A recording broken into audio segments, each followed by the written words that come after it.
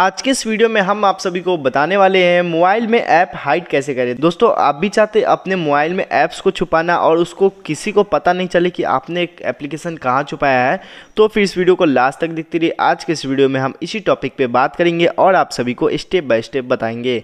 चलिए दोस्तों, बिना कुछ देरी के हम करते हैं वीडियो को स्टार्ट उससे पहले आप मेरे चैनल पर नए हो तो चैनल को सब्सक्राइब और साथ ही साथ बेलाइकन को प्रेस कर दीजिए, ताकि इसी तरह के अच्छे अच्छे टॉपिक आपके पास लाता रहूँगा।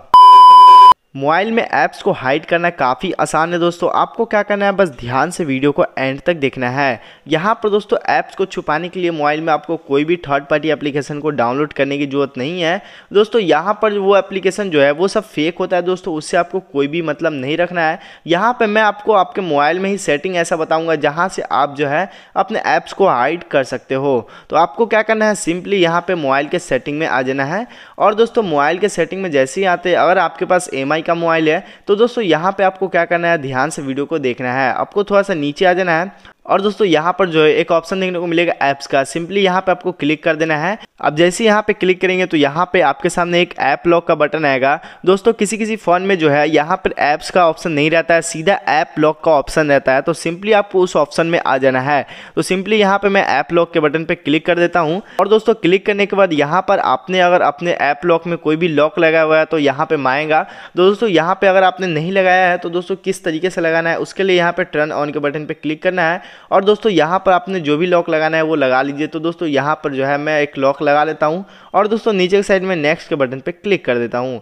अब इसके बाद आपको यहाँ पे नोट नाउ के बटन पे क्लिक कर देना है। और दोस्तों, यहाँ पे क्लिक करने के बाद कुछ सेकंड वेट कर लेना है। यहाँ पे आपका एमए अकाउंट ऐड करने के लिए बोला जा रहा है। तो आपको यहाँ पे नहीं करना है सिंपली नोट नाउ के बटन पे क्लिक कर देना है। अब दोस्तों, उसके बाद यहाँ पे ये सारा एप्लीकेशन टिक है। तो सिंपली आपको क्या करना है, इस सबको अनटिक कर देना है कुछ इस तरीके से। और दोस्तों अनटिक करने के बाद यहाँ पे यूज़ ऐप लॉक के बटन पे क्लिक कर देना है। इसके बाद दोस्तों, यहाँ पे फिंगरप्रिंट मांगा जाएगा तो आपको कैंसिल के बटन पे क्लिक कर देना है। तो दोस्तों, यहाँ पर जो है, आपका जो भी एप्लीकेशन रहेगा वो सारा का सारा यहाँ पे आ जाएगा। अब दोस्तों, यहाँ पर आपको एक हाइड ऐप्स का बटन देखने को मिलेगा। दोस्तों, ये ऑप्शन इसमें नहीं दिखा रहा है। तो दोस्तों, आपको क्या करना है सिंपली यहाँ से बैक आ जाना है। और दोस्तों, अपनी सेटिंग में फिर से आ जाना है। और दोस्तों, आने के बाद आपको यहाँ पे सर्च बार के ऑप्शन पे क्लिक करना है। और दोस्तों, यहाँ पे अपने मोबाइल के सेटिंग में सर्च करना है, दोस्तों हाइट ऐप दोस्तों हाइट ऐप जैसे ही आप सर्च करेंगे तो यहाँ पर जो भी सेटिंग रहेगा, वो सारा का सारा यहाँ पे आ जाएगा। आपको यहाँ पे कुछ सेकंड वेट करने के बाद दोस्तों देख सकते हो सेकंड नंबर पे लिखा हुआ है हाइड ऐप्स के बटन सिंपली इस पर क्लिक कर देना है।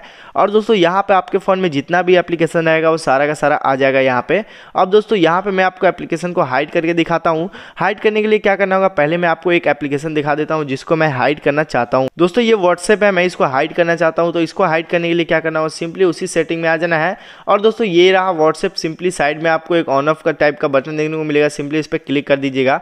तो दोस्तों, जैसे ही बैक आते हैं तो देख सकते हो यहाँ से जो है, ये व्हाट्सएप जो है, वो व्हाट्सएप जो है, वो हाइड हो चुका है। अब तो इसको अनहाइड करने के लिए क्या करना होगा? सिंपली उसी सेटिंग में आना है और दोस्तों, यहाँ पर इसको ऑफ़ कर देना है और कट कर देना है। तो दोस्तों, यहाँ पर आपका जो भी व्हाट्सएप रहेगा, वो यहाँ पर आ जाएगा, आप देख सकते हो। तो कुछ इस तरीके से अपने मोबाइल के अंदर ऐप्स को हाइड कर सकते हैं। वीडियो कैसा लगा, मुझे कमेंट बॉक्स में ज़रूर बताइएगा और साथ ही साथ चैनल को सब्सक्राइब करना ना भूलें।